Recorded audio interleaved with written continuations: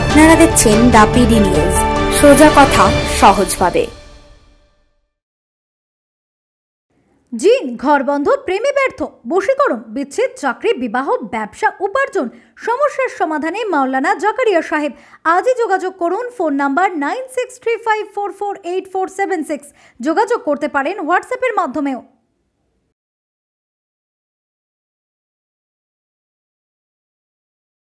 লকডাউনে কাজ হারিয়েছেন, টাকার প্রয়োজন, মেয়ের বিয়ে দিতে পারছেন না। চিন্তা কিসের রয়েছে ফ্রিল্যান্স ফিউচার ফাউন্ডেশন মেয়ের বিয়ের জন্য মিলবে কুড়ি থেকে পঞ্চাশ হাজার টাকা। এডুকেশনের জন্য পাওয়া যাবে কুড়ি শতাংশ থেকে সত্তর শতাংশ আর্থিক সাহায্য। আর্থিক সাহায্য মাসিকভাবে মিলবে ছশো থেকে হাজার টাকা পর্যন্ত। পুরোটাই অনুদান হিসাবে। ফেরত দেওয়ার কোনো ব্যাপার নেই। তাই আজই যোগাযোগ করুন eight zero one seven six six nine five eight five অথবা nine four seven seven two six one six five zero নম্বরে। আসানসোল পৌর নির্বাচনের আঠেরো নম্বর ওয়ার্ডের বিজেপি প্রার্থী অমিত তুলসিয়ান বৃহস্পতিবার প্রচারের শেষ বেলায় সময়সীমা পার হয়ে যাওয়ার পরও বাইকে করে মিছিল করার সময় কুলটি থানার নিয়ামতপুর ফাঁড়ির পুলিশ মিছিলটি আটকে দেয় সীতারামপুর ভাবরা মোড়ে। এরপরেই বিজেপির প্রার্থী অমিত তুলসিয়ান সহ মিছিলে থাকা কর্মী সমর্থকেরা পুলিশকে ঘিরে ধরে শুরু করে বিক্ষোভ।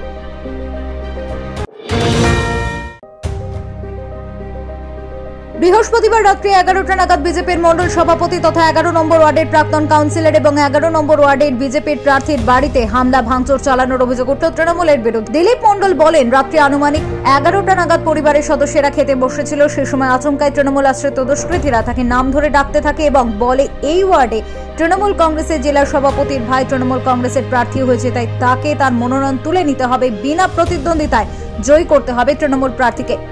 এই কথা বলার পরই তার বাড়িতে হামলা চালানো হয়, ঘরের জানলার কাজ ভেঙে দেওয়া হয়।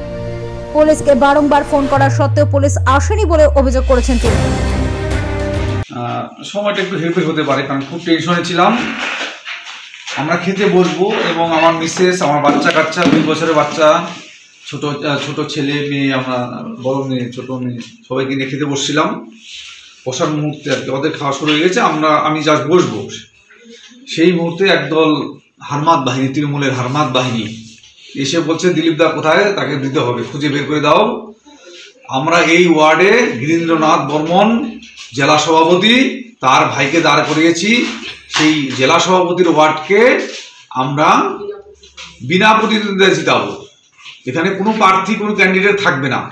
কালকে উইথড্রল করতে হবে, আজকে ওনাকে আসো, আসুক, ওনাকে আমরা এখান থেকে নিয়ে যাব। ওনাকে তুলে নিয়ে যাব। কালকে ওনাকে এসডি অফিসে নিয়ে যেয়ে ওনাকে ওনার নমিনেশন পত্র উজ্জ্বল করাবো। তো তারপরে যখন কথা বলতেছিল আমার মিসেসের সাথে, তখন ওরা বলছিল, না, আমার স্বামী আসতে দেখা করতে পারবে না, আপনাদের যান, কালকে রাত দিনের বেলা কথা হবে। তারপরে তখন আমার বাড়িঘর, সম্পূর্ণ বাড়িঘর ভাঙচুর করল। আমার বাচ্চা কাচ্চাকে মানে এমন কাছের আঘাতে একজনের রক্তাক্ত হয়েছে। অসুস্থ হয়ে গেছে আমরা সবাই, আতঙ্কিত, পনেরো কুড়ি জন। তারপরে পুলিশকে ফোন করা সত্ত্বেও পঁয়তাল্লিশ মিনিট, আধা ঘণ্টা হলো পুলিশের কোনো দেখা নেই। দ্বিতীয়বার যখন আবার আক্রমণ করল, দ্বিতীয়বার তিরিশ পঁয়তাল্লিশ মিনিট পরে আক্রমণ করল, আক্রমণের পাঁচ, দশ মিনিট পরে তারপরে আসলো। পরপর দুবার আক্রমণ হলো আমার আমার আমার বাড়ি। রাত আসানসোল পুরসভার নির্বাচন, ঠিক তার আগে ভোটের সামগ্রী নিয়ে ডিসিআরসি সেন্টার থেকে ভোট কেন্দ্রের দিকে রওনা দিতে শুরু করেছেন ভোট কর্মীরা আসানসোলের ধাতকা পলিটেকনিক কলেজ থেকে শুরু করা হয়েছে ডিসিআরসি সেন্টারের কাজ। সেখান থেকে আসানসোল পুরসভার একশো ছটি ওয়ার্ডের ভোট সামগ্রী বিতরণের কাজ চলছে।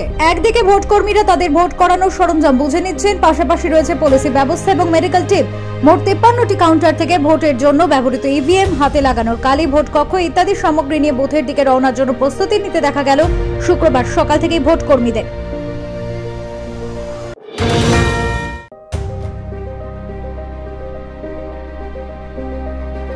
গতকাল রাতে মাথাভাঙা এগারো নম্বর ওয়ার্ডের সিপিআইএম প্রার্থী মদন চন্দ্র করের বাড়িতে আক্রমণের অভিযোগ এবং তার ভাই খোকন করকে অপহরণ করার অভিযোগ উঠল তৃণমূল কংগ্রেসের বিরুদ্ধে। এ বিষয়ে পরিবারের সদস্যরা জানান, রাত্রে তৃণমূল আশ্রিত দুষ্কৃতীরা বাড়িতে এসে বাড়ির গেট ভেঙে ঘরে প্রবেশ করে এবং সেখানে মদনকে না পেয়ে তার ভাইকে টেনে হিচড়ে নিয়ে যায়। আজ সকালে সিপিআইএম নেতৃত্বরা সে বাড়িতে আসেন, পরিবারের সদস্যদের সাথে কথা বলে তাদের পাশে থাকার আশ্বাস দিয়েছেন।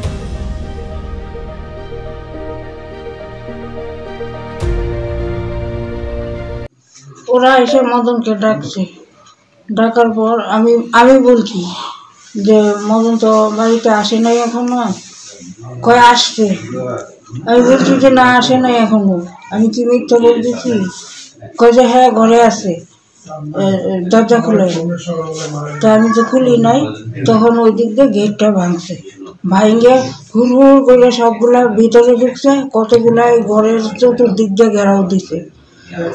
ঘেরাও দিয়া ওই ও- ও একজনে যায় খোকনের ঘরের দরজাটা দুইজনে দুইজনে ঢুকছে। দুইজনে ঢুকছে।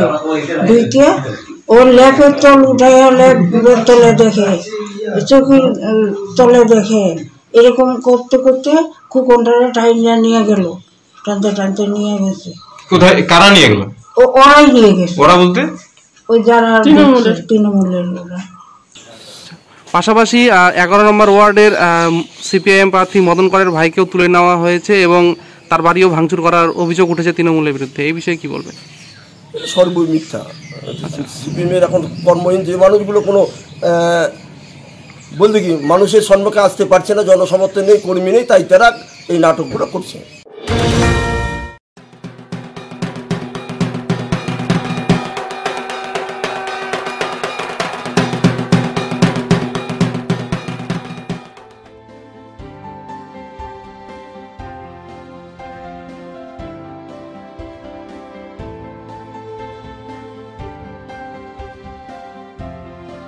আপনার স্বপ্নের বাসস্থানের নতুন ঠিকানা হোক শান্তিনীর।